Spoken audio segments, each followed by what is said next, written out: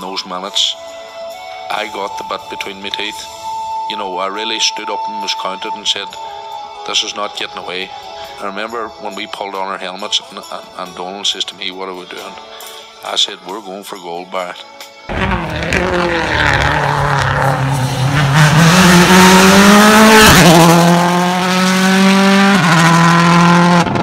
Welcome along to Krunching Gears, Season 3, Episode 5. We're back after a short break, and I'm delighted this evening to welcome along Adam Platt. Adam, you're very welcome. Kevin, thanks for having me. No bother at all. So, Adam, I suppose we, a lot of us will know you from you know working on Declan Boyle's car, Patrick O'Brien's car, and all, but you've a fascinating backstory there as well. How did you get involved in rallying really in the first place?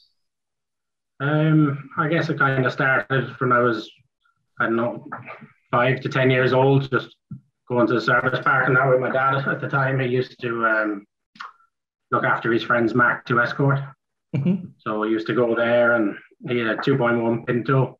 I'd always be passing them the spanners and that. And then over the years, it just progressed. You know, I would learn more and more. And eventually I was the one under the car spanner checking it and just kind of went from there, you know. So I've always kind of been from a young age, as far back as I remember, just in a service park doing something with rally cars or tinkering at home. Mm-hmm. Just went on from there, really. Yeah, and you're a Cork man originally, is it? I think.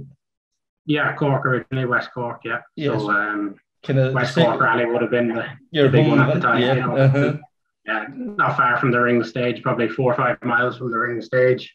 Mhm. Um, that would have always been my aim to do the West Cork Rally myself. And later on, I did get to do it. I've done it. I've done it two or three times now, and done the West Cork Rally, but never really had much luck. Didn't have, you know, yourself the best of budgets at the time, and Yes. trying to late nights in the garage trying to get the car ready before and that. Uh-huh. No, I finally got to do it a couple of times, and uh, yeah, um, I don't know, strange to do it after all them years, but yeah, I would still know the ring stage like the back of my hand. It would still be my home rally. I would class it, even though I'm living, Uh-huh. you know, the other end of the country now. So Yes. Uh-huh. So, like, you know, you've went from the, the young guy growing up in the service park. How did you make the, the move then to like M Sport? Like that was your your more or less that's what you want from just your ordinary day to day job to to a work Yeah. team. yeah, um, actually went after after school. I went into uh, panel beating and spray painting. I did an apprenticeship in that. Um, just nine to five job. Done that for ten years. I got up to be the foreman of the workshop in there. You know, just a regular job. Did a lot of rally car kind of work in the workshop. Um, a lot of resprays and stuff like that. Then got to know a few more of the rally drivers and bought a few rally drivers in from knowing them from, you know, just you always know your local your local club members and that. And uh, started fixing and tidying rally cars up at home then.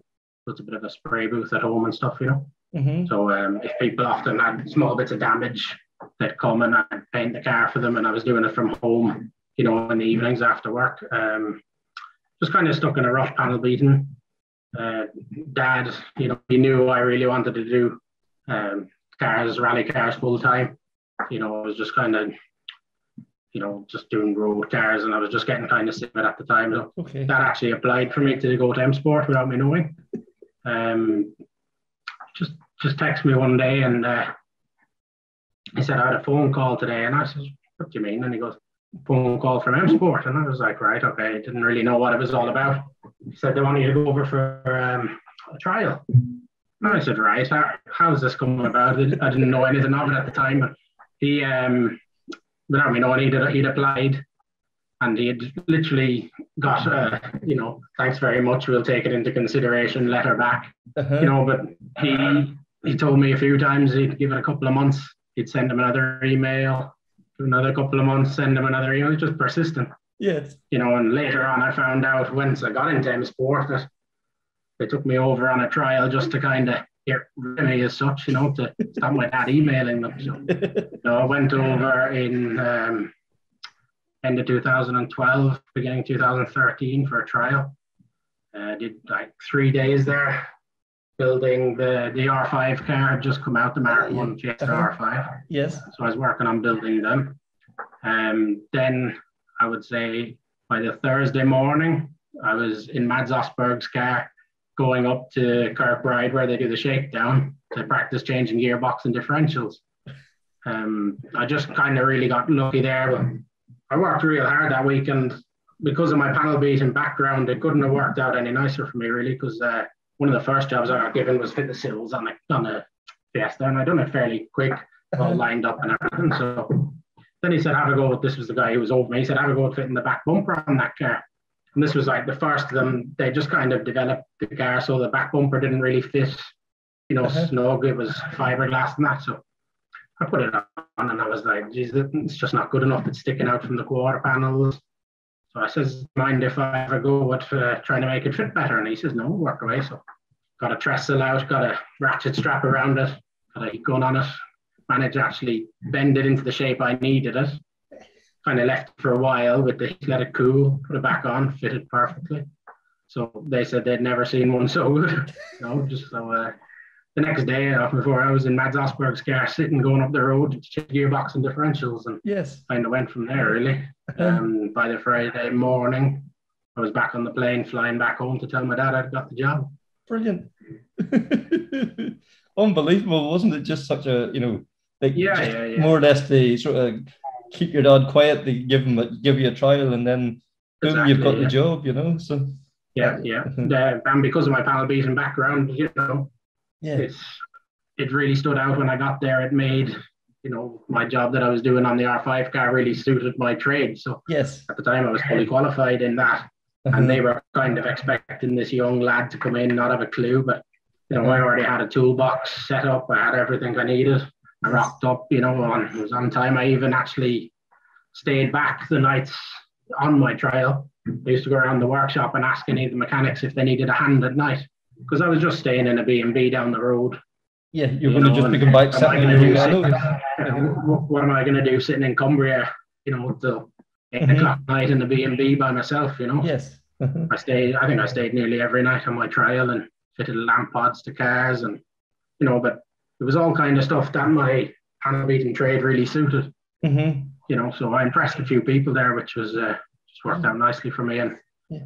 that was it. I was back home to tell the boss that was going to work my four weeks' notice and disappear off England. so just shipped my whole life off over there. Yeah, and like, was was that was that at the time a dream come true for you? Like you know, you you were saying there you were yeah, starting yeah. up doing what you were doing. Yeah, yeah. And don't get me wrong, I did love my job. I loved what I did. You know, I was painting some real top end cars, painted, you know, anything from Ferraris to motorbikes, you know, did a motorbike for John McGuinness, done a lot of real nice stuff, you know. Right. Um, I really took pride in the painting side of things. Mm-hmm. So um, yeah, but like you grow up thinking this untouchable M Sport, you know, World Rally team, you know, watched it on TV all my life, and next thing is there stuck in the middle of it, you know. Yeah. Uh-huh. And that was a really exciting time for them, you know, this new customer car, the R5 Fiesta. Like that was yeah. the start of what become known, you know, the M Sport was, yes, it was the works team, but they were producing probably, you know, the, the handful of world cars at that time. But this was opening up a whole new avenue for them, really, wasn't it? Yeah, yeah, yeah. Obviously, it was uh, probably a car at the time was half the price of a new World Rally car, mm-hmm. and it appealed to a lot more people around the world. You know, and yeah. the regulations were kind of changing. They're making it more customer friendly, more affordable for people. Even though for a lot of people it still wasn't affordable, but you know they, they were able to produce 250 or even more, nearly closer to 300 of the Mark One car. Mm-hmm. You know, I think I worked on car number five. I worked back again on car number eight. And that was when we were building them from scratch. And then like the first few were still in the workshop, hadn't even gone out to customers yet. Mm-hmm. But um, I got kind of spotted and for the customer team, which was WRC, so I went straight over to them. So I kind of bypassed the R5 build stage. Okay. Um, probably because I was a little bit older than the lads. They tried to keep the younger lads towards the build to kind of train them up. Okay. So I was lucky enough that I was able to go straight onto the customer side of things. So within. I had that few more years uh, under your belt as such. Yeah, yeah, yeah. I was a little bit later coming in, so I had a little bit more experience. Mm-hmm. So I was straight away into testing for the WRC car. So straight off the G test, you know, within a few months of working there. Yeah. Mm-hmm. it, was, um, it was good, but at that time, you know, even the World Car side, the whole side of the workshop on the left hand side. I don't know if you've ever seen the workshop. But no, it's just loads of bays. You were talking, I don't know, 16 World Rally or RRC cars on the right hand side of the work or on the left hand side. Uh-huh. On the right hand side was the R5. Yeah. But now it's kind of the opposite way around. There's very few WRCs and mostly R5s. R5s. Uh-huh. At that time, there was a lot of customers renting and they'd done the RRC car, yes. which was like a WRC car basically with an R5 rear wing and a smaller restrictor. Uh-huh. And then uh, competed in WRC2 at the time. Yes. So uh-huh. I was kind of work, straight on working with them. Uh-huh. So I worked with lots of different variety of drivers there because every week you'd have a different customer in your car. Okay. So it was also very handy to get to know a lot of people, mm-hmm. you know, and work with a lot of drivers that I still talk to today. But it was because of that experience that I was working with multiple drivers, you know. Yeah, I, you weren't just channeled to one person. That was, as you say, exactly, yeah. you, you, know, you had so many. You, you mentioned Nick uh, Henning Solberg, uh, yeah. let's see, mm-hmm. Nicholas uh, uh, uh, even Killian Duffy there with the uh, yeah yeah. I can't think of the name. to know Killian. That that, that, that, that was the first time I had my, my first encounter with Killian. Yeah, uh, uh-huh. met him. He was sitting uh, Al, Al, Abdulaziz Al Kuwari. That's the one that RRC. yeah, uh, in an RRC car. Uh-huh. Yeah, um, I worked with Benito Guerra that year. You know, Mexican driver. I got to look after his car in Mexico, which was just you know he was the home hero Oh yeah. First time in Mexico, and looking after the home hero. You know, I think he was actually running third overall for the first half of the event. Anyway, I can't uh-huh. even remember what happened after that, but yeah, um, yeah, he was. It was a good atmosphere out there with uh, looking after the local hero. Uh-huh. You know. Yes. Um, done Henning in 2014, Monte Carlo, mm-hmm. uh, Brian Bouffier. You know, um, just so many of them. And the, the 2000, 2014 Bouffier had a fantastic result. Was that the year you finished yes, second? Yeah, uh, second overall. Yeah. yeah. Um, I think it was. Uh, yeah, it was. Ogier, Ogier won the rally. Uh-huh. Yeah, um, but we led we led the rally until I think it must have been Saturday afternoon until Ogier got ahead of him. Uh-huh. So, um, you know, I was working on the rear left corner. I remember it, and the one of the mechanics actually on the car still works with me now on Declan's car. But Right. Um, no, we were just thrown into the deep end and we were leading a WRC event straight away, uh-huh. which was good. And then yeah. he finally he finished second overall. Yeah. But, uh, no, that was a good experience. He but, was a good driver. Yeah. Uh-huh. And like for you personally too, like that must have given you some buzz too. Never mind, you know, like all the, all these yeah. years leading up to it, and all of a sudden then you're leading Monte Carlo Rally. That's I have to be honest. When I was in Monte Carlo, I was uh, you know, it was minus three. We were working all working all night. The rain was sideways. It was ridiculous. Uh, I was thinking, I don't know, is this for me? At the time, it worked out good in the end, but yeah, no, we worked that that that first Monte Carlo was back in the day when we used to move the service park during the night. Okay. So I think we had um we had a real late service on the Friday night, mm-hmm. then early service Saturday morning and then long day Saturday, and then on the Saturday night it was raining. Service about five o'clock, so you'd service two cars, uh-huh. uh, two forty-five flexi services, and then you'd have to pack up the whole service park, drive four four hours in a truck down to uh, Monte Carlo itself from Gap,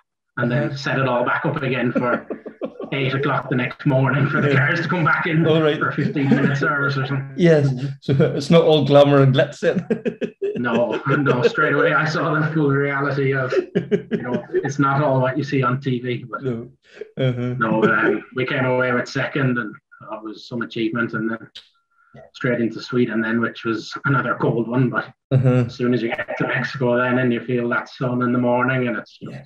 uh-huh. unbelievable experience there. Then you get to mm-hmm. see a bit more of the world and for sure. Oh, very good. And do, do you get a chance to like look at the sites when you're there too? Like you know, after the event, you know, do you, um, stay on a couple of days sometimes, or you know, the lakes yeah, of Mexico? Yeah, did you um, go and explore? Yeah, you wouldn't see that much, to be honest, Kevin. Um, you would see a lot more if you were on the recce team, maybe. Okay. You know, the I usually was on setup or looking after a car, so okay. recce was I only got to do a few recces. Okay. Um, but no, if you're on the recce team, you get to obviously drive all the stages, see all mm-hmm. the towns. And I've seen a good bit of Mexico and that. We had to take the car to, if you're on the customer side, you take the car to a remote shakedown usually or a remote test on the, the Tuesday before the rally. Mm-hmm. So usually we'd drive the cars out of uh, out of the city. I was Guanajuato at the time and drive out into the country and Yeah. you know you could drive 10 minutes and it's just back and beyond you wouldn't like these people have never seen a world rally car you have hardly ever seen a car never mind a world rally car Uh-huh. but just absolute poverty.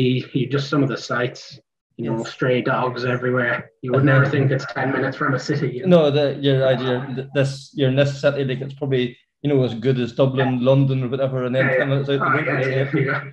Yeah, yeah, yeah. Uh-huh. you know, we're staying in a holiday inn. There's plenty big shops. You know, you can get a Starbucks on the way to the Yeah. service park in the morning. Uh-huh. Ten minutes away, you would think you were in third world. Jeez. Unbelievable. But yeah, you get to see some sights. Uh-huh. Um, the likes of Australia and that you'd often, you know, end of the season. So we would often book, you know, delay our flights home a week. Sport were very good that way. So Okay. you know, have a week in Sydney, have a week up Uh-huh. the Gold Coast.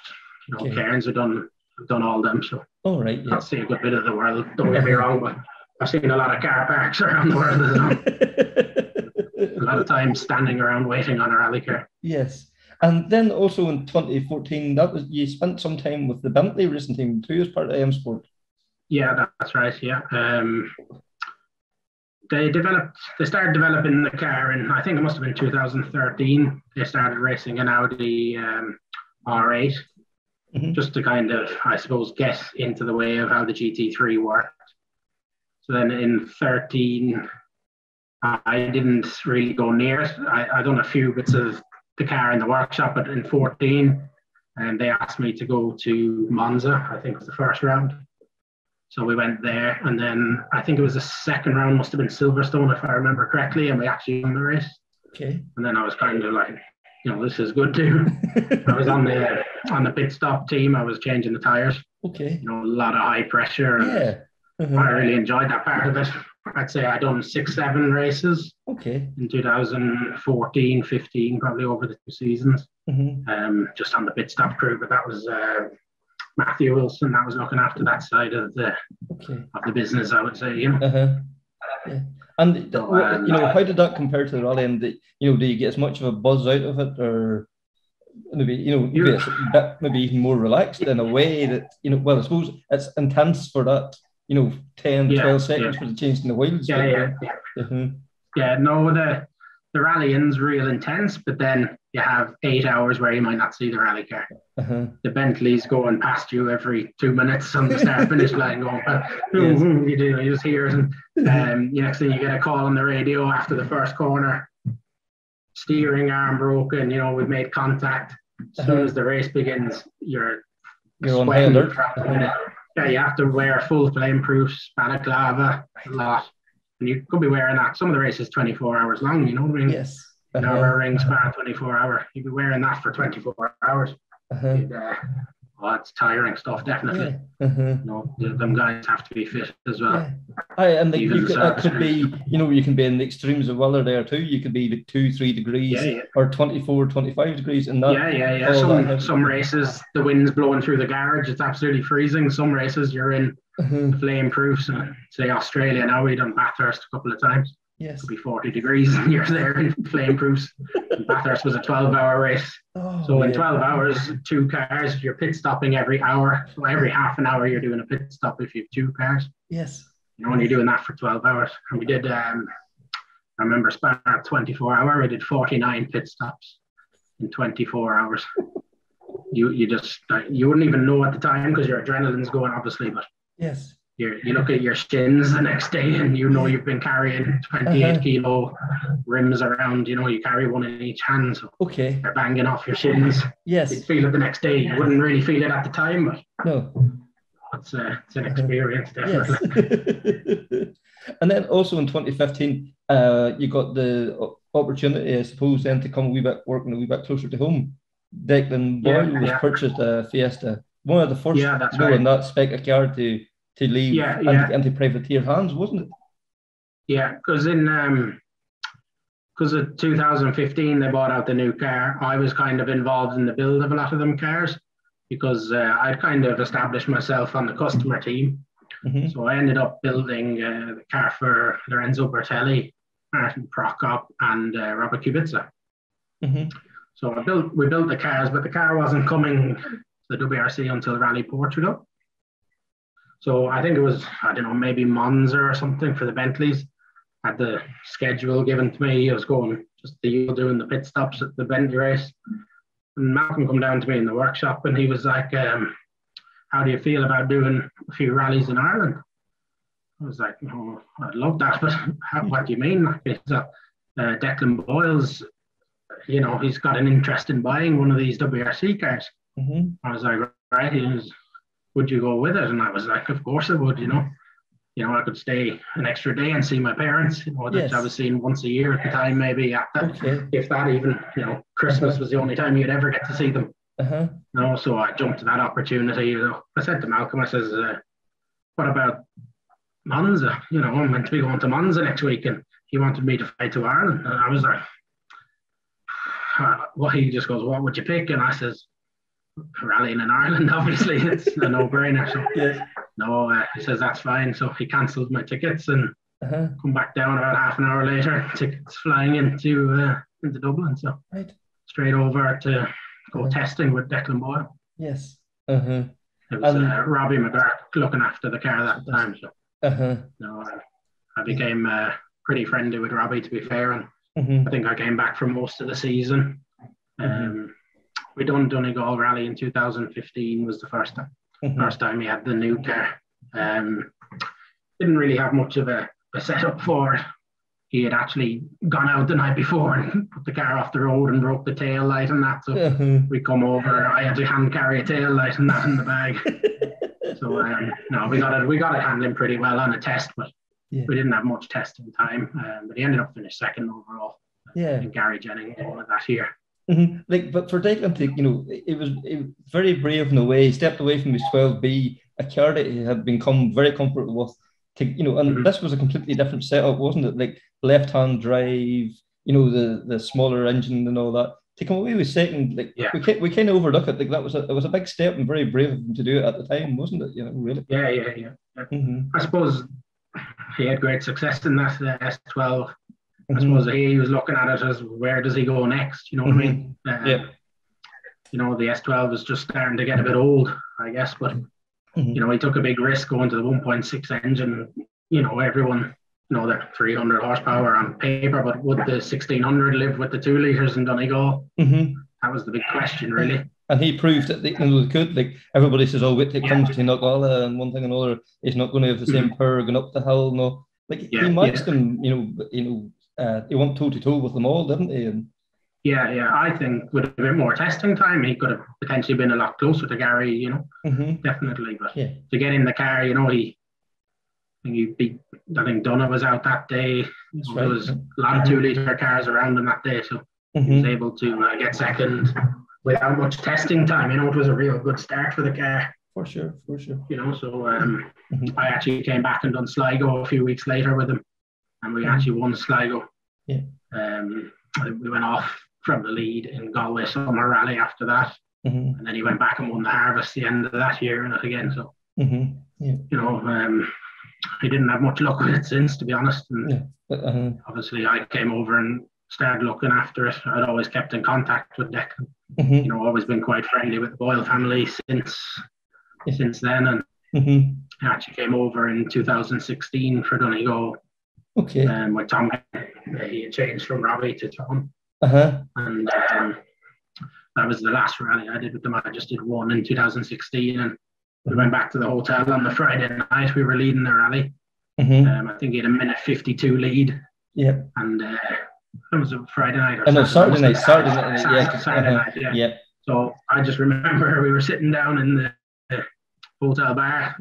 Just put a pint in front of me their uh, barman, and uh, got a text message Declan out from uh-huh. um, it was another M Sport engineer that was actually looking after Dunn at the time. Okay.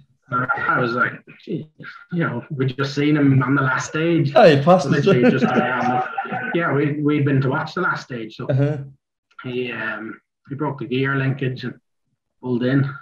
Yeah. Uh, I don't know. In hindsight, he was in third gear here. I think he thought the gearbox was broke. Okay. But it was just a gear linkage. We could have actually probably fixed the car, unfortunately.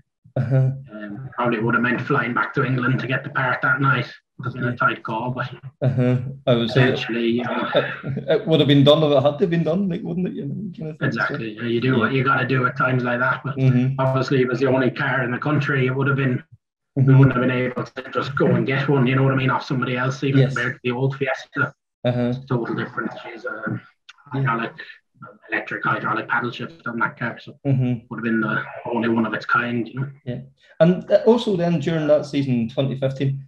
Uh, Formula One uh, driver Robert Kubica was doing a lot of the World Championship events. You were working his car at yeah. the time too. Like, what an exciting yeah, driver um, Robert was. Oh, yeah, Still is, like, you know. So yeah, yeah and I, I learned a lot from Robert. You know, over the years, uh-huh. he's uh, his attention to detail okay. and the way that man can set up a car is just blow your mind. You know, I learned learned about a lot of the stuff that I know today because of it. You know. Okay. But um, no, um, M Sport asked me to go look after Robert, so he bought the car brand new in 2015, and then um, he kind of ran the car himself. We done the first event with uh, with M Sport in Portugal, and after that, he ran the car from uh, Poland himself. So me and the engineer just used to fly out to the event, basically run the car, fly back home. Okay. Um, after a few events, it got a bit more difficult because we were working with um, Italian mechanics.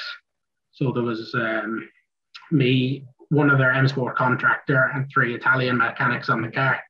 So there was a fierce language barrier, you know. Okay. But, um, yeah, after probably I don't know three, four events, we had a very good way of communicating. You know, you get to know these men when you're with them so much, uh-huh. and um, you know, by the end of it, we had a real, really good little tight knit team, and everyone had a job and knew what they were doing. So mm-hmm. it was uh, it was definitely a good year. I learned a lot that year from Robert. Uh-huh. Um, for that man to step in a car like that after an accident he had, mm-hmm. you know, it's a it was a big. People didn't realize the seriousness of what that meant him stepping back into a WRC car. You know, it really must have been. Yeah, you, can you think about it? Like, yeah. like it, you know, the, he nearly lost his arm, and to step back into a rally car and go as hard as he was going, at, at the, Yeah. in your head, never mind anything else. Like, it must, you know, it must take a lot out of you, really, doesn't it? You know, so so he Yeah, must be very mentally strong to do that. I, you know, the man's hand he didn't have much strength in it at Mhm. all. Really, he drove the car. To be fair, basically one-handed a lot of the time. So Yes. he had a lot of airplane crashes, as we know. But Uh-huh. you know, he, he had a big moment of oversteer, and that you try to correct it with one hand. It's not as easy as uh, Yeah. you know, but the talent and the speed he had was just unbelievable. He's, Mhm. If he had two hands, I would have no doubt he would have been a world champion. You know, Absolutely. Absolutely. Yeah. Um, we had to make adaptations to the car as well. He his paddle shift had to be moved to the other side. The handbrake was a push system. oh, You know, the car he got special he got special permission off the FIA to, to do to do this. stuff. You know, to the car. Yeah. So, Uh-huh. um, no, it was very unique to him. All these spares would have to be unique to him. You couldn't just go get one off off Yeah. M Sport. You know, you had to have a backup handbrake that worked the opposite way, Of course. Yeah. shift on the opposite side. You Yeah. know, modified bracket. Uh-huh. You know, a wire, extend the wires. It was Ah, it was quite a such a unique crazy thing. be. Uh-huh. yeah, yeah, for sure, yeah, Mhm. and not easy because. it Didn't even though I worked for M Sport, I was kind of subcontracted to to Robert on that, so we didn't have the full work support either. Okay. you know, uh, if we if we had a, a big service on, we could go and get assistance if we needed it. But Yes. we were just kind of thrown out on our own, Mhm. after this car.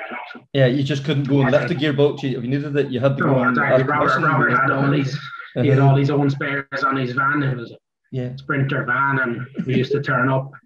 You know, you you you at M Sport you'd get a bit of downtime, but with Robert you wouldn't because you'd be the one responsible for making sure he had the spare gearbox ready, Okay. sure Right. the uprights were ready.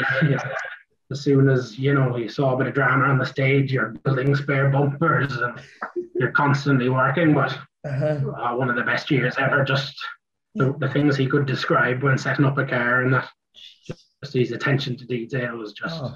Uh-huh. you know a different world. Yeah. Uh-huh. And it, like you know, to have that brain, so analytic. Like it's not even that's not even Formula One. That's just something that he has natural ability, isn't it? You know, that's that's yeah, not something yeah, you can yeah. learn. That's just something that's in your no, your bloodstream. Yeah, I think he he left school at a very young age and went karting full time, and then was kind of educated as he was racing. You know, uh-huh. I mean? you could tell he'd been involved in it a long time. You know, mm-hmm. he um he definitely knew how to set a car up. That's for sure. Yeah, for sure. For sure. There, there was times where you know we didn't see eye to eye, and there was times where you know we were you know really appreciated by Robert. You know. Yeah. I remember in uh, Finland one year we um he absolutely barrel rolled the car in uh, one of the stages, and we went out and it was absolutely wrecked. And we were actually testing in Germany the weekend after. So um, we actually we crashed out on the Saturday of Finland, and we spent the whole day at Sunday uh, stripping it in Prince Sports Workshop. Uh-huh. So we basically sent the shell back to M Sport on the Monday, completely stripped. And then by the Friday night, I was back in the truck on the way to Germany, totally fixed, you know. So we were uh-huh. testing that weekend in Germany, uh-huh. and you know, Robert appreciated it, and yes, he gave us all a nice tip each as well, you know, which was good. yeah, you know, um, just handed us a bit of cash each. You know, it was uh, nice to see. Uh, yeah, really it shows you appreciated what you've done. Uh-huh. Yeah, exactly. Yeah. yeah, He appreciated the effort of it, but mm-hmm. you know, when things were good, they were good. When things were bad, he'd let you know, and he'd make sure you made it right. You know what I mean? Yes, it didn't happen again. Kind of like, yeah, he, it wouldn't happen again if it happened, and you know, he would um, he would make sure the team was right for the next day again. You know, mm-hmm. you were kind of a mechanic. You know, and a team manager as such, you know, the spares, everything was organizing, you know. Mm-hmm. Yeah. So mm-hmm. kind of set me up for where I am today too. I guess you know it was a real thrown into the deep end, but a real learning curve as well. Yeah, uh, it's, it's been proved invaluable, as you say. And yeah, then, sure, yeah. And then in 2016, then uh, Tanak was back in the the M Sport fold then again, but with the in yeah. the, the DMACK car, you were helping with yeah, that. Then? Yeah. Yeah. Um, I've done a few rallies in a Fiesta before that, I believe, Rally GB and that. And in 2016, DMACK uh, decided they were going to enter the World Rally Championship with a tyre and enter their own car.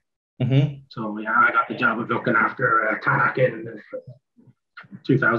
2015-16 Fiesta. Mm-hmm. So um, yeah, that was a, a, learning curve as well. Really, mm-hmm. he's uh, an unbelievable talent you know, but until you get to know him, he's very abrupt.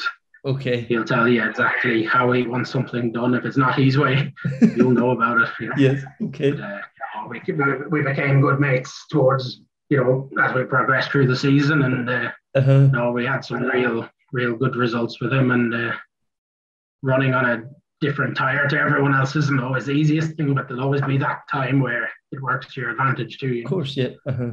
Um, it wasn't easy. We were kind of outsiders again because we were on a different tire and yeah, because you had nothing to compare it with. Then you couldn't compare. Exactly, yeah. Uh-huh. yeah, yeah. We done a lot of tire testing that year as well, so you were constantly on the road as well. You know, right? Um, the tarmac tire, you turn up with a new tire that they've just developed. You may have never driven on it before. You know. Okay. Um, yes. You know, you'd go do the test a couple of weeks before the rally. You'd learn from the test, make notes of the improvement of the tire, and then mm-hmm. send it to um, to DMACK, and they'd come up and land up with a tire for tarmac you know you're arriving in Monte Carlo that you've never tested before. Okay, it was definitely a learning experience. You know. Yes. Uh-huh. But, um, but like that must have been uh, fascinating from your from you know from your engineering side of things to be able to provide that input to make them differences as well. Yeah, yeah, yeah. You learn a lot as well from you know, being at them tire tests and learning from the, mm-hmm. the feedback, you know. Yeah. Um, so you, it's definitely a lot different than just turning up and, you know, doing a setup on a car. You're doing a setup that's mm-hmm. for Pacific Tire. It's not a run of the mill setup that, you know, the rest of the M Sport team would have developed on their test. We yes, may have you, to go with something slightly different because it uh-huh. wouldn't work. Yes. With your tire, you know. So mm-hmm. uh, once again, you're you know, we were different from the rest and we were trying different things and you know, we were kind of independent as such between me and, and the chassis engineer. You know, you'd be doing two or three different geometries in the workshop. You know, after the shakedown, you might change the geometry. Uh-huh. You know, a lot of extra work and little bits and pieces involved in it. You know that people actually wouldn't see so much. Yes. But, uh, no, it was a good year. We had a we had a um, near victory, which would have been the first victory for Ford since I think 2012. Mm-hmm. Um, we were in uh, Poland 2016, so I think he went into the second last stage with 33 second lead, Mhm. and uh, he got a puncture. And, uh, it was the front right, took the brake pipe out, and ended up losing the rally to uh, Uh-huh. Mikkelsen at the time. Yes. But um, you'll actually see there's quite a lot of pictures around when Ogier was holding Tanak up on his I shoulder. just set him up on his shoulder. Uh-huh. Exactly, yeah. yeah. Yeah. And I suppose that kind of led on to their partnership in 2017 then with Yeah. Ford. But, Uh-huh. you know, they, they developed a good relationship then. And, you know, mm-hmm. we didn't win, win the rally that day, but everyone knew that. Aye, he he was a, he, aye, he was a deserving one, and really wasn't he? You know? Yeah, exactly, yeah. You know, Uh-huh. he was robbed of it basically. You mm-hmm. know, I, I, I think he finished second in the end still, but, yeah. you know, But he to- to gain- stages with no brakes. Aye, and to gain the respect of Ogier, who you know Exactly, yeah. was out there to grab every point for himself.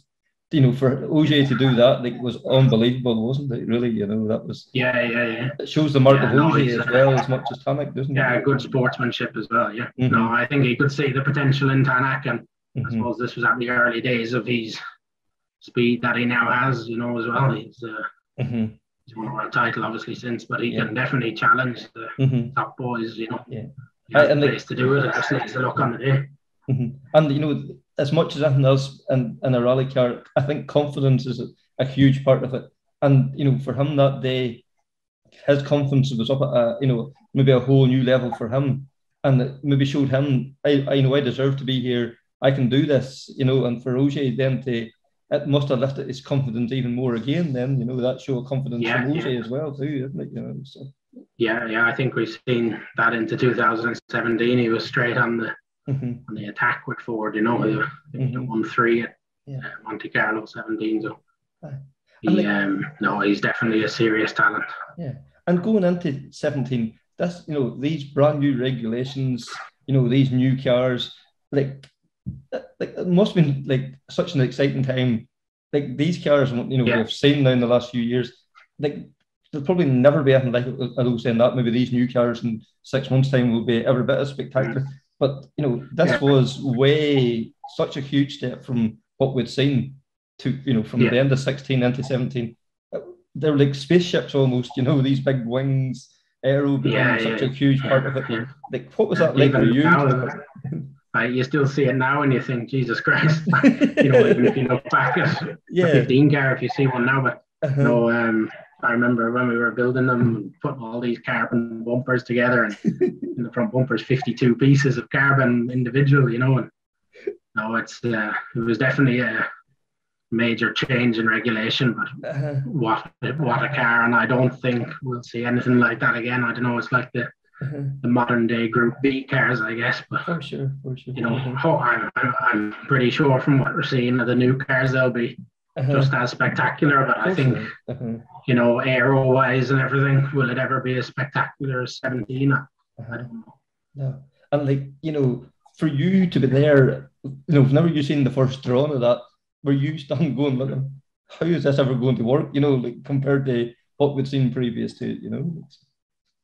Yeah, yeah. No, um, even the development car, you know, it was M Sport always kind of start off with a mule car and it was the 15, 16 car, you know, and they started adapting all this aero onto it and you see it slowly changing and uh, transforming into the new car. And as usual, before Monte Carlo, it's always a lot of late nights trying to get the cars ready. And Uh-huh. I think it must have been about half one in the morning by the time we got Elfyn's car onto the Right. onto the truck ready to go. You know, um, I usually drove the truck to the rallies, but we would work that many hours that I Uh-huh. couldn't even drive the truck. You know, so Uh-huh. someone else had to take it. But uh, no, it was a lot of takeaways and that on the counter and in Sport Yes. And the- few and- You know, was, uh, And to get Sebastian Ogier to come to the team that year as well, like what Yeah. what kind of lift did that give them whenever you hear that like that him Yeah, and just coming? Uh-huh. yeah, it's like you know, I guess you could say you know, they hadn't won a rally since 2012. Uh-huh. It was just kind of monotonous. We were just kind of turning up and being close, but not not getting victories. And uh-huh. to be have a driver line up with Ogier, Tanak, and Evans uh-huh. definitely lifted the whole place massively. You know. Yes. Um, was, but it put a lot of pressure on at the same time too, because you can't have a world champion turn up and give him something that's not capable of uh, producing the goods. You know. Mm-hmm. No, um, no, it was really good. Uh, OJ made come to the test. He made a lot of good development to the car. Mm-hmm. Even you know everything was stepped up to another level. Yeah. Even the service equipment, service area, everything was spruced up, and that was because of him. You know, he um, mm-hmm. he didn't let anything go without being seen. He picked up on every little detail. You know, you could see why he was the world champion. You know, little bolts. If there were two, three threads too long, he'd ask you why is that there. You know, you have to cut it back flush, and yeah. you know, carrying this extra weight for nothing, and just uh, a different level. Aye, isn't that uh, crazy? You know, when you think of it, but that's the that's the difference, isn't it? You know, that's you know that's. Yeah, yeah. Uh-huh. Yeah, that's the difference between world champion and been not being a world champion, isn't it? Really? Exactly. You know? yeah. Mm-hmm. And you wouldn't think, but I guess all them little things add up. But mm-hmm. his attention to detail, just until you've actually worked with him, you wouldn't. Yeah. You wouldn't believe his attention to detail and the unseen effort that goes in as well. I guess you know, yeah. even Julien, you know, one of the nicest guys I've ever met in WRC, he would have the time uh-huh. to come and have a chat with you in the mornings and that. But what a professional, you know, everything he done you know, they would spot things on a recce that no one else would spot. Yes. You know, spot things on a test, you know, mm-hmm. little detail inside the car was just, you know, they took it to a whole other level. I like uh, I was listening to Bex's podcast with Julien there and saying, you know, about after the first test, he, he produced like a five page report for M Sport. Mm-hmm. Like they had never seen nothing like this before, you know. So as you say, it's just yeah. the wee things like that that just make the difference, I suppose, really, at the end of it all. Yeah, there was mm-hmm. just no room for a mistake. Just everything had to be right. And mm-hmm. Pressure was on before Monte 17 for sure. Mm-hmm. And as you say, won the rally.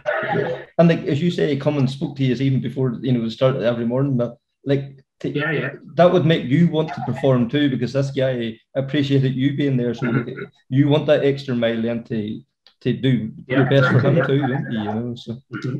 Mm-hmm. Yeah, just an absolute legend. Julien is every morning he would come up, uh-huh. you know, and he would shake your hand, and he wouldn't just shake your hand and disappear. He would say, you know, what you go out for dinner last night? Where'd you eat? Or, you know, he'd really, you know, take, his time. And, uh-huh. Yeah, yeah, you'd want to produce the goods for that man. You know what I mean? Because at the end of the day, he, he became a friend in the sport, and mm-hmm. he wasn't just, uh, you know, a co-driver. You know, you see over the years don't get me wrong, they're all brilliant and they all respect mm-hmm. you. And Julien, he just went to a different level, you know. Yes, absolutely, absolutely. And then you know, like uh, that year, like a dream for M Sport, really, wasn't it? Like to be part of that, you know, yeah. as you say, going from 2012 without a one to all of a sudden being, you know, the team. Yeah, yeah. No, the at the start of 17, the car was really really good, and it took a while for the opposition, I guess, to catch up. You know, mm-hmm. um, they were getting closer all the time, but M Sport were still developing, and you know, 17 was just one of them years that you'd look back on for a long time, and you know, you wouldn't change it for the world. You know, uh, mm-hmm. when we won um, Rally GB with Elfyn, his home rally, and we were standing up on the roof of that car as you know, on that day in Wales, home rally, Victor, we won the their uh, manufacturers and the drivers' titles. Uh-huh. Yeah, I think they're all in the, your yeah. home country, or M Sports home country, I should say, really. But uh-huh. you know, I think Hollywood just... couldn't have wrote a better story. Like Elfyn crossed the line, won on his home rally, you know, in front of exactly, his home people. Uh, yeah. Followed him across the line, manufacturers title, you know. Yeah and then yeah. uh, Ogier's OJ across. Yeah, you know, oh, have, you, have just, you seen it in a film? You wouldn't have believed it, would you? You know, yeah, yeah. No, you just you couldn't have wrote the script any better. It's uh-huh. just yeah. like it will never ever happen again. I would imagine that oh, the home man will win his first WRC event. Mm-hmm. You know, the home team will secure manufacturers, and they'll also secure their first driver's title, and all do it mm-hmm. all on the same day yes. in their own country. You know, you just mm-hmm. not going to see it again. I don't think all the stars will align again mm-hmm. for that. Even you know, and like, you know, looks good for next year, but uh-huh. I can't see it all aligning like that. So, so, but you know, we, we you spoke there about like Evans won his first uh, World Championship event then GB. He comes so mm-hmm. close to a few months earlier in Argentina, and like yeah. he clipped the bridge in the last stage, or whatever, and he lost out by 0.7 of a second. But maybe it was written in the stars that, that you know that, that, it wasn't meant to be. It was meant to be GB, you know. So yeah, yeah, you know that heartache in Argentina made uh-huh. GB even more special. Yes. Okay, I'm sure you know Elfyn wanted his first win. You know, uh-huh. we wanted our first win. Mm-hmm. Yeah, DMACK wanted their first win. Everybody wanted their first win. Uh-huh. You know, in Argentina was hard to take seven tenths of a second. I think it was, yeah. I know at the time, third closest WRC finish in history. And mm-hmm. so um, that event definitely wasn't simple. Um, I think Elfyn was leading the event on the Friday night. Okay. About 52 seconds, I think. Right. Uh, I know we had a 45 flexi. We were servicing the car and uh, about 10 minutes to go. You know, the last job always bleed the brakes. You know, um, Elfyn, you know, he always demanded that his brakes be bled. It was kind of a run of the mill job, you know, we do it very regular, so we were just bleeding the brakes. I was pumping the pedal and just nothing. The engineers were telling me there's air in it. I was like, there's, there's no air in it. You know, we're not getting any air. There's no pedal. I said the seals are gone in the cylinder. Uh-huh. How can the seals be gone? And I says, no, this, I'm telling you now, the seals are gone. Right. So pumped 10 minutes, we could achieve nothing. So um, we made the decision to take the car to the Parc Fermé with no brakes. Okay. So we took it on the Friday night with no brakes, the Parc Fermé, with a lead of 52 seconds in a rally. so um, you know that was probably one of the longest nights in my life. Yes. Uh, we went back. We had a bit of a meeting about it. Um, all the engineers, Brembo engineers, everybody uh-huh. had a look through the data, and sure enough, there was seals gone in the in the front and a little bit in the rear cylinder, but the front cylinder had completely failed. Uh-huh. So, um, no, uh, basically, we had to make a decision of do we try and fix this in a 15 minute service the next morning uh-huh. because we were leaving the rally. We had no choice. We just we had to do it. Like retiring wasn't an option. So okay. Um, well, Malcolm pulled me to the side and he says, "Right, we need to practice this." And I says, "Right." So I got a pedal box and all on the bench, and he says, "No, we need to." We need to actually bolt this down and represent it what it would be like in the rally car. Uh-huh. Uh, we bolted it to the far side of this big metal bench, and uh, he actually made me lean over the bench so I was at full reach to replicate like leaning over the door bars in the rally car. Yes. And he stayed with me for a couple of hours until I could get it down to under 10 minutes. So we ended up modifying spanners and that and you know uh-huh. shaving them down to get them thinner so they'd go onto the onto the connectors a bit easier and I think we got it down to seven minutes on the bench to do a change of the cylinders. Yes. But obviously, the next morning we had to bleed the brakes also. Uh-huh. We also had to change the calipers and the handbrake as well. So, um, no, it was kind of a mental job. But uh-huh. then we done it in nine minutes the next morning, and uh, we managed to get the brakes bled, uh-huh. um, change the rear calipers, and change the handbrake.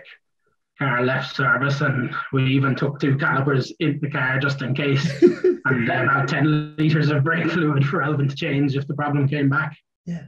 So, um, no, unfortunately, the problem did come back on the Sunday. Okay. Uh, we flushed out all the fluid, but uh-huh. still to this day we don't we don't know what caused it to this day, but uh-huh. uh, fluid must have been contaminated or something. Right. So yes.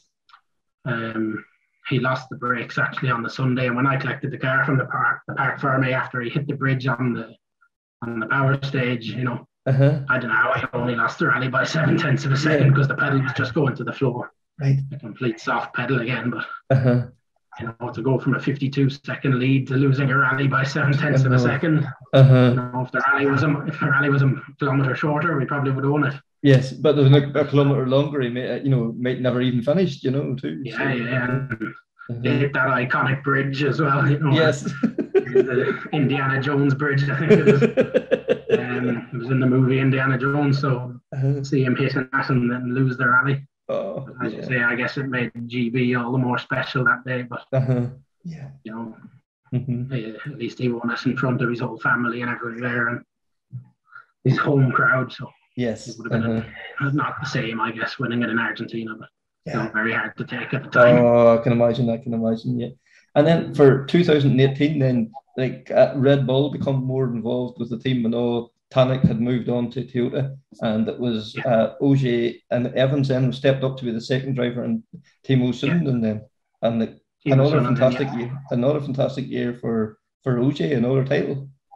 yeah, another title. Uh, I wouldn't say it was as plain sailing as 2017. The opposition had got a bit closer to us, but hmm Ogier, you know, he's a complete champion. He just pulled it out the bag again. The car was Mhm. still a very competitive, and you know, I still believe the car is still, you know, a very good car. You know, Yes. um, obviously they've concentrated their development towards the newer car now, but hmm the car is still very good, especially on the tarmac, you know, and um, oh, he pulled the win out the bag again and crossed the line in Australia. We actually all went down to the to the last stage and seen him come around the last corner to uh, to win his um, Uh-huh. world title again, which is something never forget. And then we, we had a podium at the end of the power stage. It was just Mhm. a good year. I think I don't know. I think in the two years we had like 20, 21 podiums hmm in um, 2017 18 so Yeah. no, it was definitely a, a good year 2017 18 Uh-huh. with red bull you know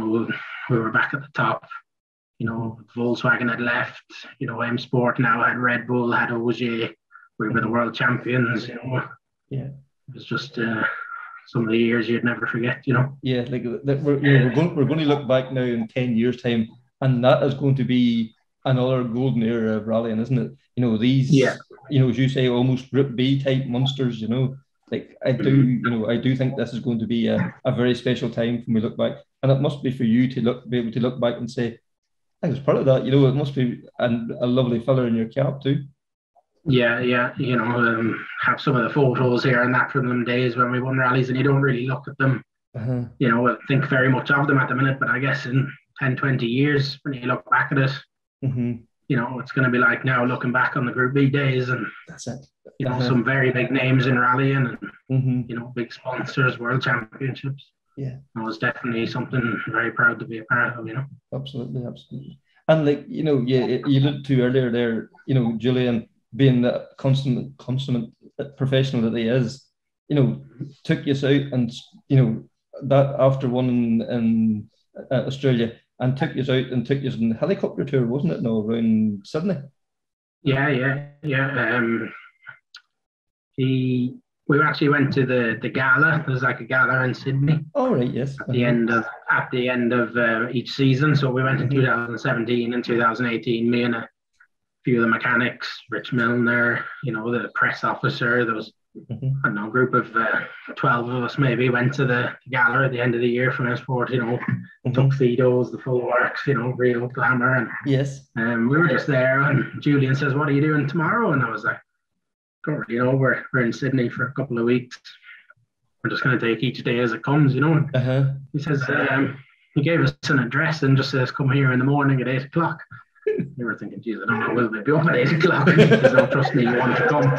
So, uh, sure enough, me and one of the other mechanics um, who was with me there, he, we got up, we got on the tube, and we went down to uh, this address, and sure enough, there was a helicopter waiting for us. It was actually the it's actually the WRC helicopter that they use for chasing uh, the cars the day before at the rally. Uh-huh. You know, the WRC pilot and all, and uh, Julien had spoke to him that day and arranged this trip for us. So, you know, basically, we had this helicopter for the day in Sydney and go wherever we want.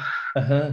Uh, we went up nearly all the way back up to Coffs Harbour again, actually, and took us to this uh, golf course and big vineyards and just had the most unbelievable deal you could ever think of. You know, just Yeah. Michelin star and Uh-huh. really looked after us, you know, and then took us back down through Sydney, Mhm. flying around the Opera House, you know, Harbour Bridge. He just, you know, what a guy. He just, Mhm. you wouldn't expect that from anybody, but that's how much he he put back into it. You know, he Yeah. appreciated what we'd done for him. Aye. And like, at this stage, they were already leaving, weren't they? Like, so, you know, it wasn't that you know, was that oh, yeah. this will lift the guys for next year or whatever. They were yeah, they, yeah, they'd already announced they were back, going back to Citroen again at that yeah, point. Yeah, yeah, for sure. And you know, if I seen him now, he would still chat away to me. You know, he's just a genuine guy. But uh-huh. um, no, even that nice. You know, we used to have these big chalets in, uh, in Australia. And he'd rather be there playing cards and drinking and messing about with us with the uh-huh. mechanics than he would be out having a meal with the rest of them. You know, so right he was even to the day he left, he was there partying with us uh-huh. right till the end. You know, he yes. uh, he much prefer to hang around with the mechanics and be a part of the team and mm-hmm. and you know do the you know the media and oh, going out for meals. Mm-hmm. Yeah, the sponsors you know, he, uh, he just wanted to be exactly. Yeah, he just wanted to be one of the lads and. Mm-hmm. Once he took off that helmet, that was it. He was uh, uh-huh just one of the guys, you know, but a total professional when he put it on. But yeah. you know, he uh, he enjoyed himself as well when uh, yeah. when the he wasn't was in the car. Uh-huh. Yeah, exactly. Yeah. always the, the last round of the season, you know, 17, 18. Mm-hmm. You know, some great photos and some great memories of them times too. Yeah, absolutely. And like, uh, also at this point, you'd kind of decided, you know, it was time for you maybe take it to take a wee step back, and you decided you want to go move near home and set up in your own. Yeah. Was it just yeah. you know um, that being constantly away from home all the time that was? I suppose yeah. that's okay for a few years, but you can't do it forever, can you? So. Yeah, yeah, as I said before, it's you know people see the glamorous side of it, and there is a glamorous side to it, but there's a lot of days there isn't that much glamour, a lot of long hours sitting in airports. Mm-hmm. You know, I think probably spending 250 nights of a year in a hotel room. You know, so mm-hmm. I don't think it's something you could do forever. Um, I'd always, my plan always had been before I ever went to M Sport was, you know, I wanted to run my own rally team. You know, that was always the the goal at the end of it, I would say. But mm-hmm. uh, 2018, we'd won another title with M Sport. You know, unless I went deeply down the engineering side of things towards engine engineering and that, etc. But you know, for me, it was time to maybe make a move back home and do my own thing. But mm-hmm. I'd kept in touch with um, the likes of Declan Boyle and that, you know, and mm-hmm. you know, he um, he decided that you know if I came back that he would let me look after the cars for him. So okay, uh, there was nothing else to really achieve. You know, 2019 it was the same car again. Okay, you know, we don't have the new regulations again until 22. Mm-hmm. You know, the learning had kind of stopped. We kind of, you know, I kind of achieved what I wanted to achieve out of it. So mm-hmm. moved back to um, to Donegal and started running Declan Boyle's cars. Mm-hmm. yeah. So we started the 2019 season, first round Galway. Got the cars ready over the Christmas, rebuilt the cars, and was ready to go for Galway in 2019. Mm-hmm. And like, you know, to come back and I think Declan get his eyes opened how methodical you were. Like you know, the, the world car was completely stripped down. Every last yeah. nut and bolt was taken out of the car. And it was basically a new car the time you'd finished with it. Yeah, um, I don't think he was expecting me to, to go to that extent. But uh, he came in one day, like I'd only been there, I don't know, a week maybe, and there was just a floor pan and a cage sitting in the workshop. The rest of it had been cut away, and that, um, you know, it had a few hits and that. There was a bit of filler in places, and uh-huh. my mind was we get it back to its full glory and get a lot of weight out of it. Okay. I think we actually got nearly got to 90 kilos out of the car by the time it was rebuilt. Uh-huh. You know, and uh, we've done a, a, lot of work on setup wise, and mm-hmm. you know could hopefully give him a tool that was able to win rallies. You know. Yes. The uh-huh. plan. So, yeah. Uh-huh.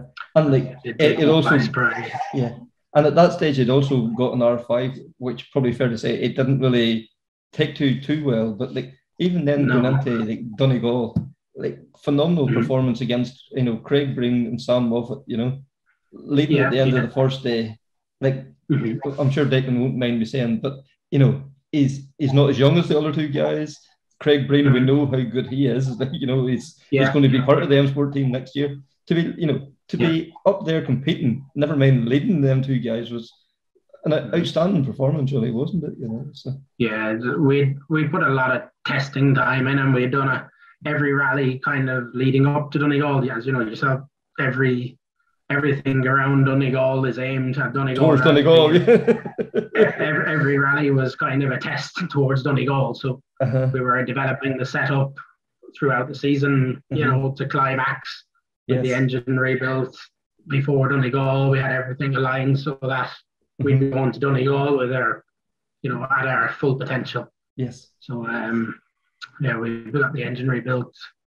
I think we done one rally, which may have been maybe the Circuit of Munster before mm-hmm. Donegal as a bit of a test with the new engine, just to make sure we had no teething issues or anything. So okay, everything kind of was aimed at, you know, max attack for Donegal. Uh-huh. Um, I suppose that was kind of the re- main reason that I went there to look after the car too. You know, mm-hmm. he wanted to win Donegal. It was the thing that meant the most to him. You know. Yeah, the holy grail almost. Uh. Yeah, exactly. Yeah. So um, yeah, yeah, very good first day in goal, Leading the rally, I think. I think the gap was nine tenths or something at the end of yeah, day one. It was nothing. Really. real good, real good fight, you know. But the stages on Friday were kind of. It could have been anywhere, you know what I mean. Whereas if we would have got into Saturday and got onto the roads that he knew, mm-hmm. I'm sure we would have, you know, tried to pull away a bit. Hopefully, that was the plan anyway. To kind of, we didn't mm-hmm. actually expect to be where we were on Friday. It just kind of ended up there, which was uh-huh. a pleasant surprise. But you know, yeah. we were really aiming at making um, our mark on Saturday. You know, okay. we got to Knockalla and that, etc. But mm-hmm no, the Saturday didn't go as we planned. Yes. I think I think the first stage was cancelled, and then we lost uh, 28 with a puncture on the second stage. Uh-huh. And it was like a red cloth to a bull, I guess. Uh, it's all or nothing. Then you know, yes. and uh, unfortunately, mm-hmm. you know, he went off, made a small mistake, and he paid a heavy price for it. The car yeah. was completely uh, destroyed, really. So. Uh-huh. And like you know, to start again, though, that like there must be a huge work to you know start stripping it all down and rebuild it back to the way it was again. Like, is that something you enjoy getting, you know, getting back and you know stripping it back to what it was and yeah, yeah, making yeah, see it all come together. yeah, yeah, definitely. You know, I'd had my fair share of experiences with Kubica and that in 16 yes. and Tanak, yeah, or Kubica and 15, Tanak at 16. You know, I'd had a lot of re- big rebuilds in short periods of time. So yes no, we uh, we actually were going to go to I think it was Sligo was on the weekend after or two weekends after. Yeah, a few weeks after. Uh-huh. Yeah, so we were we were aiming to be in Sligo, no different, you know. Uh-huh. Um, we, I think by the Sunday we had the roof and everything cut off the car. We were fully full steam ahead to get it fixed. You know, uh-huh. obviously things didn't work out as to plan, but yes, um, with COVID and that. Aye. Car was rebuilt and it just mm-hmm. kind of sat there ever since. Mm-hmm. Yeah. And then, you know, like for Declan then to come back for the harvest there a few weeks ago here in Donegal and like mm-hmm. to step back and for a man that hadn't sat in like a rally car for basically what a year and a half mm-hmm. and to step in and go as hard as he did against yeah, guys, yeah. you know, the likes of the Moffetts and these guys and Devine that who had been had done four, five, six rallies up to that point, mm-hmm. you know, unbelievable yeah. again, you know. So Yes, it's a world yeah, car yeah. and yards and R5, but mm-hmm. they, they, weren't huge power stages either. You know, it was it was technically yeah, yeah, technical stages as well, weren't they? You know, so. Yeah, very muddy, wet conditions too, so mm-hmm. would have really suited the, lesser power R5 car as well. You know, so mm-hmm. no, um, it was we weren't we weren't really going. Originally, it was going in a polo, uh, mm-hmm. renting a polo. So we actually just done a test he texted me, we went down, we done a test just to get him back in the seat of, of a rally car. Oh, uh-huh. You know, there was no plan to go in the WRC car. Right. It was just the only car that was sitting there ready to go. Mm-hmm. To a certain extent, you know, in hindsight, if we knew we were going, we would have done a lot more prep on the car. Mm-hmm. You know, the brakes, you know, everything had been parked up for two years, a bit of the electrics, you know, starting to fail towards the end of the rally. He lost the paddle shift and stuff like that on the car. So uh-huh. Um, he didn't even launch. He had no launch for the last loop either. You know, right. and the center console in the car had uh, given up. Just I guess maybe a bit of moisture in it for sitting about for two years doing okay. nothing. You know. Yes. Um, uh-huh. But no, we got we went for a test, and I think it was the Thursday before the harvest rally. Uh-huh. Um, I needed a few parts for the car, so we were waiting for them. We went out on the Thursday. It was a wet morning in Donegal. I went out and uh, kind of just had a setup on it. We had ran before Donegal Mhm. um, international, you know. So we went out and the car ran perfectly on the day and got a text off Declan later and he just says, uh, just take that car back to the workshop just in case. And I was like, oh no, what's going to happen here? And this was the Thursday night. and, uh, you know, so uh, sure enough, I got the call Thursday night that Uh-huh. we're going to go in the world car. He just, you know, because he'd been out the car for so long and Yes. you know, I guess it was kind of a comfort to go in something that he knows rather than something that he didn't know. Uh-huh. Um, you know, he for sure we didn't think he'd be able to do what he did, and Mhm. after he was nearly two and a half years, I guess, out of the car, but you know, he was straight back on the pace. Yeah. I think he was up three seconds after stage one, which is Mhm. you know remarkable, really. That is for sure, for sure. And also then, you know, a wee bit closer to your workshop there now, uh, Patrick O'Brien, you know, like Mhm. a young guy that we, I think, you know, anybody who didn't know the talent they had, I think the Bushwhacker highlighted that for a lot of people, didn't it? You know, Yeah, he, uh, it was phenomenal performance they put in there, wasn't it? Him and the brother. yeah, he's uh, he's a super talent. To be fair to him, um, I'm very got very friendly with the O'Briens and that since I moved up here. So Mhm. um, you know, they were a big part of me probably coming up here as well, you know, and helped me out a lot back then and during COVID and that. And um, just kind of had he got this opportunity through his sponsors, always wanted to do the bushwhacker in an R5. He hadn't had much luck really. I guess he had the pace in the Evo, but never really had the luck to go with it. But Mhm. we got a we managed to hire a car, so I went on board with it and we did a day's testing on the I think it was the Friday before the rally. We Mhm. finally got the car where we needed it and went out testing and then oh, he just pulled it out of the bag. He unbelievable drive really. Uh, I'd say he could you know he could go far if he had the budget and the sponsorship to do so, but Mhm. you know that's not easy to get. But No, unfortunately not. the sponsorship for that rally and he was able to produce the goods. So Yeah. hopefully, you know, he can do a bit of work, get a bit of sponsorship and get out in it again, you know. hmm And like for anybody that hasn't seen that in car from the Bushwhacker, you know, it's it's oh, it's scary in places, but like you know, the, the commitment, you know, um, as, I think, as it Craig Breen always talks about throwing your balls up on the dashboard. Like Patrick definitely had them up on the dashboard that day, didn't he? You know, so Yeah, yeah. no, um, the work that he puts in behind the scenes is something that I haven't witnessed in, a, you know, since WRC days. He, Mhm. the detail in the notes, the detail they put into the videos, you know, of the recce, you know, Mhm. even Stephen, his co-driver, the effort they put in is just second to none. You know, Yeah. if they get it right on the day, they'll be hard to compete with because they're that prepared. You know, yes, uh-huh. uh, and you know they went to the Ulster unseen work is massive. Aye. and the Ulster probably, you know, was a, an unfair reflection on their talent. You know, the, the car just seemed to Yeah. just didn't just just didn't work on the day, did it? Really, you know, there was wee issues with the car Yeah, all day, no. more or less. You know, so yeah, so mm. Yeah, this is the problem when you hire cars too. You don't know really what you're getting, and you get the car a couple of days before the rally. And Mhm. you know, we um, we had a few teething issues with it. We lost the steering rack. We had a misfire. Eventually, the pop-off valve failed on the car. You know, everything went wrong on the day that could have gone wrong. And yeah, mhm. you know, hopefully he gets another opportunity. And for sure, that his tarmac experience wouldn't be as great as his gravel. But Mhm. I've been in the car with him on tarmac, and you know, if he gets it right on the day, he'll be up there. there'll, be, there'll be something there. Yeah, for sure, for sure. And looking forward now to 2022. Um, is the your books filling up well for 2022? You're excited for the new season? Yeah, um, you know, there's a few customers talking about doing rallies next year. Obviously, it's hard to know until we see what's going to happen with Uh-huh. you know COVID and everything. Hopefully, everything stays as planned. But the Mhm. calendar was released there, so there's plenty of people talking, and we should see the boils out Yeah. for most of the season anyway. I would Uh-huh. hope so. Yes. And, um, probably see Michael out again, and maybe even Matthew might make an appearance. You know, the younger son Yes. is now um, Uh-huh. at the age where he could be. Uh-huh. Getting the to car, so- Yes.